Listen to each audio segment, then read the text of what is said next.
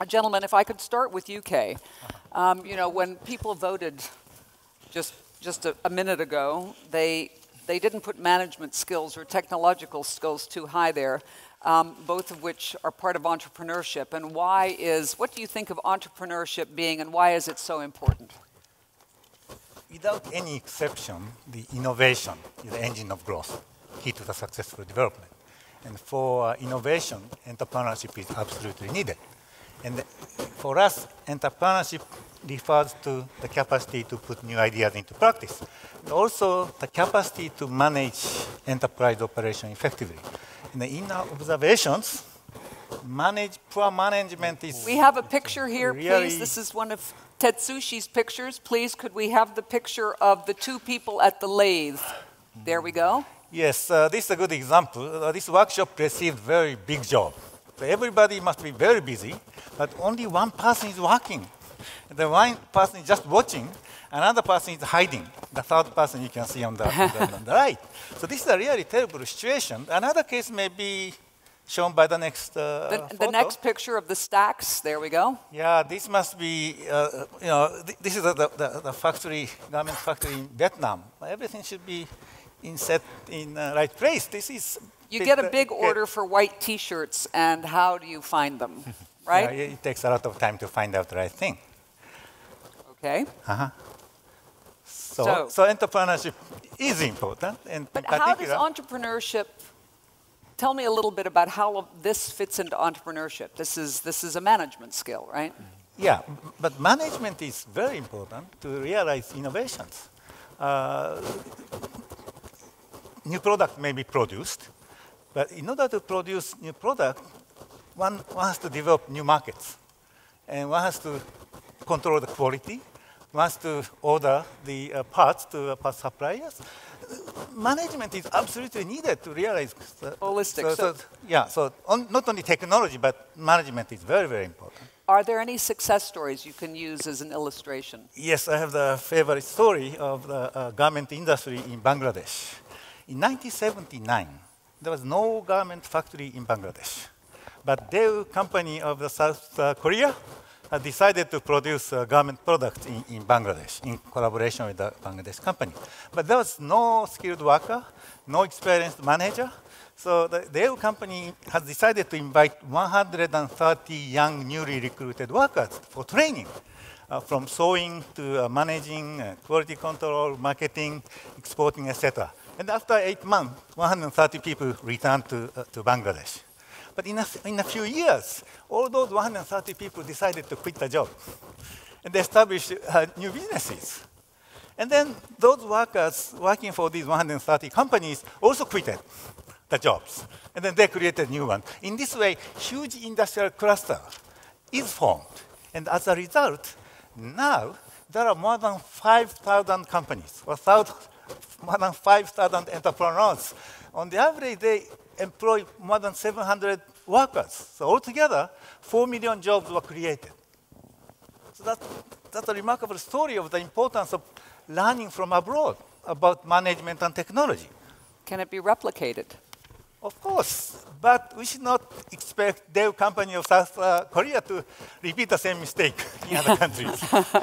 Because it was a mistake for them, but yeah, very yeah, good yeah. for Bangladesh. That is why we need the support from the government, international organizations, or from uh, uh bilateral bilateral donors. But importance of learning from abroad is true also in Africa. That's a very good example. That is an example of the uh, leather shoe industry in, in Ethiopia, which has been growing pretty well because it has been learning a lot from Italy. Okay. Well, Tetsushi, you've, you've been spending a lot of time. Um, and obviously, uh, business management is a, a global endeavor, and everybody has their own ideas about it. But what, how are you using it in, in um, sub-Saharan Africa? Okay, so in order to see the, if the management training really works, uh, because uh, it, must be very important, but uh, still uh, there is a question whether or not we can teach, or whether or not they want to learn. So we have been conducting a kind of experiment. So our training program consists of the uh, teaching about uh, entrepreneurship spirit, and very uh, basic knowledge of marketing and uh, business planning and the importance of record keeping. Not uh, advanced training about rec- uh, record keeping, but just importance of the keep, uh, record keeping, and also a very basic knowledge of kaizen, uh, like uh, uh, very simple one, housekeeping, uh, in order to avoid this kind of messy storage. And then uh, we conducted the surveys of the participants and non-participants before and after the training and to compare. And then we randomized the invitation to the uh, training program. So, is that the story of Ghana? Yeah, uh, in Ghana, uh, please show the next slide.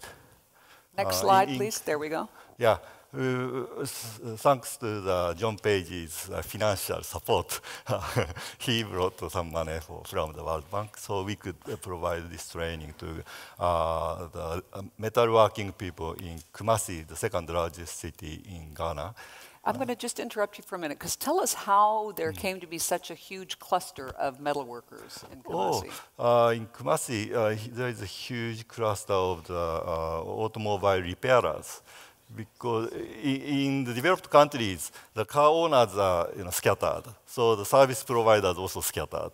But in Ghana, most cars are trucks, and then the Kumasi is along the very important road uh, connecting the, the seaport to the inland. So there's a huge demand for car repairing, truck repairing. So there was um, more than 10, hmm? 10,000 masters of car repairers. The- Then the, that cluster is known to the other countries like Mali and the next next country. So basically, your truck breaks down, you Or, head for uh, Kumasi. Yeah, yeah, it? and then I don't know how can they bring those broken cars from the next next country, but Yeah. somehow some masters are so well known in the West Africa. So they are rich. Although their clothes are very dirty, but they are rich people. So many people, young people, want to be like them. So they come as uh, apprentices. And then there is a huge demand for the, you know, uh, ma- lathe machine turners and those uh, uh, skills. So then metalworking uh, clusters also emerged. And then we provided, uh, but uh, unfortunately, uh, recently the, those engine blocks are imported from uh, Asia. So rather than repairing, then they now just replace the engine itself. Ah. So the demand for this skill, uh, the skilled people are declining. So then please show the next slide. Next slide, please. The profitability, uh, okay, this is a messy uh, workshop and which can be uh, turned into the better one after the Kaizen training. So please show the next one. Um, okay, I've Okay, got to interrupt you one minute. Can you please explain the difference between Kaizen training and the traditional BDS training? Uh, Just for those of us, I mean, there may be somebody else besides me who wasn't aware of the difference. Um, so, very briefly, Okay, so uh, Kaizen is uh, more about the housekeeping and then the, uh, encouraging the workers, everybody, uh, not just managers, but workers, to participate and think and then practice how to improve the productivity. So initially they just uh, clean up and then sort out important things and unimportant things. But then they find, oh, the uh, you know, working environment is becoming better. So they're happy. So they think more uh, to improve their uh, workplace. So that's Kaizen. Right. So very human friendly. And then please show the next slide. So in the Ghana, uh, that metalworking cluster, the profitability has been declining because of the cheap uh, imports from Asia. And then we, uh, because uh, the red, uh, red one, uh, pink one is a non-participant, and then blue or green is a uh, participant. So we randomize uh, uh, part, uh, you know, invitation. So they are almost the same. But after the training, training was provided uh, toward the end of 2007. Then one year later, we visited the same place and then interviewed and then collected data. Then the profitability, uh, you know, uh, increased for the participant, but uh, for non-participant, unfortunately, profitability has been declining. And then uh, one more very important finding from this case is that uh, uh, while the part, uh, non-participants, many pa- non-participants stopped the operation uh, after one year the, in the 2008, but uh, among the participants, none uh, has uh, closed down. Ah, so very good very rate of important. success. Yeah. They've survived. So the survival rate in, uh, increased. So as uh, Måns and John Page emphasized, uh, the, those short lived uh, enterprises are problematic, but uh, after training, so after good training, so small enterprises can be uh, very good uh, employment creators. So this is the business equivalent of CPR, Mm-hmm. moving things on. And now what about Kenya? Because you had a slightly different case in Kenya, Uh, yeah, in, in Kenya, uh, please show the next slide. This is a really informal cluster of metalworking people, very dirty place. And uh, uh, so for this is a non-participant. Uh, uh, pink is pink shows the sales revenue, and uh, uh, orange shows uh, gro- profit. And then uh, in a similar. These are the non-participants. non-participants. Okay. And then here, the timing was very bad for our uh, experiment because it was just after the uh, uh, post-election violence. Ah. So it was very dangerous. So we couldn't provide training at night time, but uh, we have to provide it uh, during the daytime. Then uh, the you know, relatively successful businessmen were very busy, so they couldn't participate. So our participants in this case were all small ones. So we couldn't randomize the invitation. We just, just allowed invited yeah, everybody. everybody. And then the relatively small one came. So please, please show, eh, okay, so for small ones, both the sales revenue and the uh, profit were lower initially, but uh, after uh, the training which was provided in the early 2008, so the small one catch up or even uh, performed better than the uh, non-participants. This was, happened only six months after the training program. And that's, that's a pretty short time to actually Mm-hmm. measure, isn't And also an uh, important finding from this uh, case is that uh, some of the participants moved from that informal cluster to the formal, formal sector industrial zones.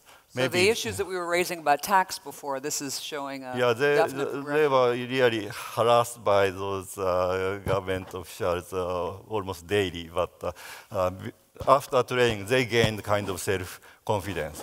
So they moved to the industrial zone. So it became formalized. And, and then Formalized. I, I guess finally it was Tanzania, wasn't it? Yeah, please show the next slide. And in Tanzania, uh, Dar es Salaam, uh, we provided uh, similar training to the garment uh, producers. Uh, they are producing not just the dress, but uh, also the bathroom furnishings and the bags and those things. And then uh, 80% of the participants, uh, no, no, uh, the cluster people, are mm, female entrepreneurs.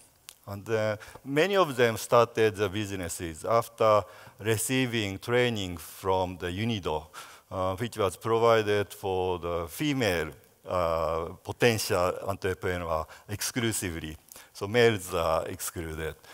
so uh, the female perform very, uh, female uh, entrepreneurs perform very well. So the left-hand side uh, about the annual profit before the training. Uh, the biggest one, male, male uh, entrepreneur perform better, but uh, except those, the, those uh, largest one, female and largest, male largest, then the average uh, profit was about the same. Uh, the female was slightly better. And also, we have kind of the indicator or, of the management skill, which uh, we call management score. So uh, before the training. So basically the men were kind of catching up, do you think? right, yes. Because So- they had, hadn't had the skills that Yeah, the women yeah. had had. Yeah, some mm, researchers found that the females uh, tend to So you were actually providing but, uh, affirmative action. Okay, so and then the, those very successful female entrepreneurs are very active in uh, exporting their products to even the European markets and the North American markets. Um, I just have one little anecdote I'd like to hear. Because you told me when we were talking about formal and informal, that um, at one point, I think it was in Ethiopia, you were doing a project, and somehow uh, you were going to have the launch, and the minister showed up. Ah, yeah, Could yeah, you tell yeah. us this story? Because it's Yeah, rather um, amusing. the metalworking people in that country was neglected by the government because uh, metalworking sector, uh, repairing the machines, are kind of the import substituting activities. So the Ethiopian government uh, listened to the economists, and so they believed that oh, export-oriented uh, industrial development must be important. So uh, import substituting sector was neglected. So the, those uh, metalworking people have never received any support from the government. But when we provided, tried to provide the training to them, then I invited uh, the state minister of industry to the opening ceremony. Then those, uh, uh, you know, those who said uh, earlier said uh, to come to the training program just hide away because they didn't pay the tax, and they, there was a rumor that once they participate in the training, they, the tax collector would come. So they were shy away. So. so, so maybe you have to give them an opportunity to actually move on up the scale. Yes, Kei, I was going to come to you for finally. Yeah. The uh, former prime minister who unfortunately passed away, Mr. Meles, is an economist interested in development of East Asia. He knows how East Asian countries develop. Important thing is learning from abroad. So he has been supporting this Kaizen management movement in, in Ethiopia. Now has, the, he has set up the Kaizen Institute, in which uh, a lot of uh, people are trained about Kaizen by receiving instruction from the Japanese uh, experts. Yeah. And that is a very good uh, development. Yeah, when I tried to explain our training program to him uh, in a kind of roundabout way, because I just assumed that he wouldn't know the word Kaizen, so I tried to explain. Then he said, oh, that's Kaizen. and uh, teach Kaizen to our people, he said. Yeah. Okay, well, what has foreign aid done so far, or what's the record been in terms of um, supporting industrialization?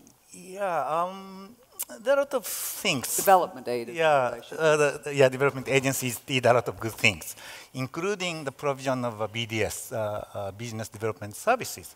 That was very good, but it neglected the fact that business owners and managers do not recognize that management is very important.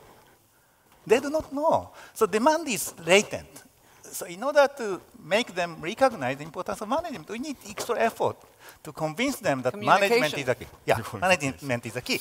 And then, uh, secondly, I think this concept of Kaizen, which was initiated more or less by Toyota, famous Toyota management system.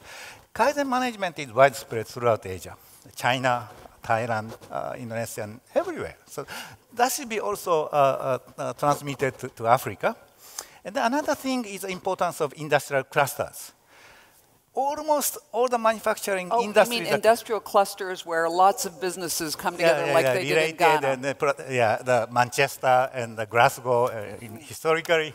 But China's development has been cluster-based. There is no question. Japanese development has been cluster-based. And in Africa, there are actually many clusters. And there are a lot of good things within the cluster you know, because of the proximity, transaction cost is low, and information is uh, exchanged among uh, producers and so on and so forth. But that importance of uh, cluster has been ignored in, in, in, the, in the, foreign aid. That, that's uh, another shortcoming. Okay, very, very quickly moving forward. Any, any last sort of advice, policy advice on what should be done? Um, Given the audience have, we, have, have, we have, we have offered very rudimentary uh, uh, uh, training programs. We should certainly uh, offer advanced courses so that their management will become much more efficient. And also, we should use the management training as a screening device to identify promising entrepreneurs. As uh, John Page said, if we have to distribute the credit to everybody, we waste a lot of money because uh, few, uh, many of the small ones will die in a few years. So we provide a training program. After training, it becomes very clear that who really learned new thing and who didn't learn. And by identifying the promising ones, we should provide credit, we should provide the infrastructure, we should provide other services. Also, we should think about moving them to uh, SE, uh, SEZ, the special economic okay, zones, yeah. in which FDIs come, because yeah. FDI is a major source of new information. So, so those things must be integrated. So everything has to be holistic. Ah. But it also, I mean, just again, to, to be slightly argumentative, because I have to be, but it seems to me that in, in Kenya, at least, you were dealing with people who were considerably further down the technological and, and technical skills level, but still had a very positive result. So mm -hmm. maybe integrating all of it. Okay, folks, it's time to do a little bit of Q&A. I think we've got time for a couple. So do we have any questions for either Kei or Tetsushi on how management and skills training, I mean, Kaizen can actually help more small firms to succeed, to identify entrepreneurs, why it's important to identify entrepreneurs, sorry, got a little frog in my throat, and maybe a little bit about how this can be integrated into policy. All right, um, Sam Jones, then Lotte Dahlman, and then Peter Samuelson, and then Soren Shu, and then I will see how we're doing for time. So Sam, you start. Thanks. Yeah, uh, just a very quick question. We haven't really talked today, but you kind of hinted at it, the role of international migration. So can, is that something that development aid could be financing, is people to go to developed countries to learn and get experience and then come back, a bit like the Bangladesh story you, you told. Yeah, that's yeah. a good idea, but uh, it's very costly. It, it's cheaper to send uh, experts in Japan to, to Africa rather than inviting 130 Africans to Japan for training. Cost effective, here we go. Okay, I think uh, Lotte Dahlman was our next. Yes, um, I'm wondering if there's a need to distinguish between innovation and entrepreneurship. You talked about Bangladesh. Seems to me that the replication of, of the garment uh, industry idea, replicating it to several thousands, is more entrepreneur, entrepreneurship than innovation. I tend to, to see innovation as, as a way of, of, um, of building new ideas and developing new ideas and new businesses rather than replicating. One question. The other quick question I would like to ask it's true that Bangladesh is a great example of how it's generating jobs and good salaries. People even, you know, they jump, they shift, you know, change factories to get a better wage. But don't you think there'll be a saturation point, and then wages they will start competing with one another? How do you see that? Ah, you've already covered that actually. Uh, Which one of you wants to? Yeah, as far as the garment industry in Bangladesh is concerned, we predict, we are very sure that it will continue to grow. The major reason is that China is losing comparative advantage in, in producing uh, labor-intensive products. Actually, we have observed a lot of Chinese uh, people coming to Bangladesh to make orders. And the Bangladesh people are very, very confident that they can continue to grow. Okay. Peter Samuelson. Uh, can you hear me? Yep. Um, speaking from the Danish Forum for Microfinance, we are obviously pleased to hear that so much uh, interest has been uh, on the microfinance as a part of the solution. And also the BDS discussion is interesting. Um, how about the new wave of the uh, making markets work for the poor and the donor committee for enterprise development, which is so much emphasizing on the value chain analysis and identifying market-based solution to enterprise development. I haven't heard much about that. Yeah, uh, the, of course, value chain is very important, and how to manage value chain is an important component of management. Marketing is actually the key. Uh, in the case of uh, uh Ethiopian uh, uh, enterprises, out of 100, 100 top largest enterprises, 50% of the, the managers used to be traders. Why? Because trader knows how to market the products. And that has been the case not only in Ethiopia, but in China, Japan, Vietnam, and everywhere. So uh, thinking about the value chain properly is a, is a key component of the innovation. Okay, Soren Shu? To the extent that management capabilities is an important constraint to many of these companies, um, what does that imply? Uh, because, I mean, you can train people or you can uh, try to get people that know this stuff already. So what does this imply for trying to attract um, multinational companies to, um, to developing countries to get these um, management capabilities? Okay, I, I think you know, my understanding of this is why train locally when you can hire locally? And I guess one of the answers here is because we're trying to figure out how to hire locally.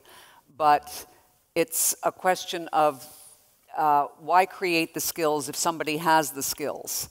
But if people don't have the skills, you want to bring them in. I'm sorry, Soren, that I'm answering your question. Uh, I am very familiar with this paper.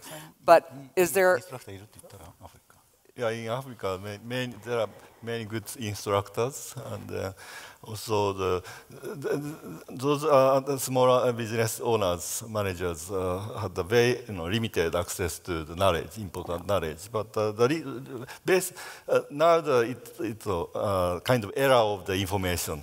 Then how can they be uh, their uh, access to knowledge is limited? Uh, I think the one reason is that uh, they didn't know the value of knowledge. Yeah. So the, the, the, they, they, are, uh, they have limited access to advanced knowledge because they don't know the basic knowledge. So the providing the knowledge, and then the, the more people can participate, and then the, among, from them, there may be a very good one. I think maybe this is the story of development. Uh, Morten, and then Johnny. Okay, Johnny first. Okay, on the Bangladesh issue, um, I lived there when this took off. So um, I'll have to say just a few uh, comments on this success. I'm sure it was a very big management achievement, but there were also a couple of other facts which made this happen, which are actually more contrary to I mean, normal uh, policy advice. First of all, this happened because Korean and Taiwanese and other manufacturers were running into trade barriers in Europe and the US, so they could no longer im- import to, or export to those countries. So they moved their production to a country which had least development country status and were thereby granted free access into these extremely important markets. First. Secondly, this would never have happened if they didn't um, engineer a special system for Bangladesh because Bangladesh lived with a very, very high protection of its own textile industry. So textile industry, spinning and weaving, was heavily protected in Bangladesh. They do this because of India, of course. So there's no value chain at all. The produce was brought in from outside, was not uh, in the local weaveries. Uh, the, the thread was not even made in Bangladesh. So they did it via duty drawback systems and in special export processing zone because they could not produce cheap enough in Bangladesh. And then Okay, you- culturally, You, lost me on the last one, sorry. And normally if you, if, you, if you make a jacket, Yeah, you would like to weave the uh, material in a local uh, ah, you're saying they So brought all the raw that so material was in. brought in, cut and sewed, and then exported again. With duty drawback system and an export processing zone, which isolated it completely from the rest of the Bangladesh economy. But it still And then- created a huge, a huge industry in Bangladesh, didn't it? Yes, because of regulatory things that sort of um, isolated from the rest of the, of the Bangladesh economy. And then a very special cultural thing in Bangladesh, an enormous pool of female labor that had not before that been sort of authorized to work outside the home. Yeah. There was nothing like a minimum salary. They would I'm- work for anything. Yeah. I'm, I'm not disagreeing with that. Kei? No, no, I, I agree with you, uh, mostly, not, not 100%, but 90%. but the reason why I, we refer to the case of Bangladesh is that pattern of development of Bangladesh is exactly the same as pattern of development of East Asian countries. So the, the, same pattern of the development can take place in South Asia. That's the important lesson we should learn. Okay. Um,